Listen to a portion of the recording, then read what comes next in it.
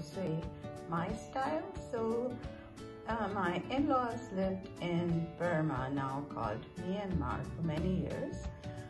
Um, and of course, over the years, there have been variations and everyone sort of has their own style, but this is how I make it. So for the curry, I use um, homemade broth. You don't have to make it homemade. Uh, I have two cans of coconut milk. I'll add galangal and if you uh, you can usually get it at the Asian markets. If not it kind of looks like ginger. If you don't have this you can always put a slice of ginger. I do add a couple of stalks of uh, lemon pepper and then a couple of leaves of uh, kaffir leaves which is a variety of uh, lemon or lime you can also add lime leaves if you want to, or omit it completely. It's not necessary.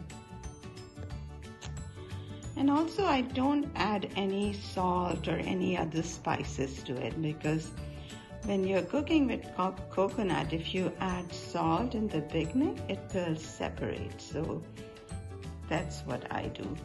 And for those folks who don't have easy access to canned milk the, uh, making coconut milk is really easy. You just get some unsweetened coconut shredded coconut the dried one boil it blend it and then um, just strain it through a cloth and squeeze out the milk out of it. So it's really easy. It takes a few extra minutes but you can do it and it comes out really good all right, now I'm ready to make the beef curry and I have about one and a half pounds of um, cubed beef.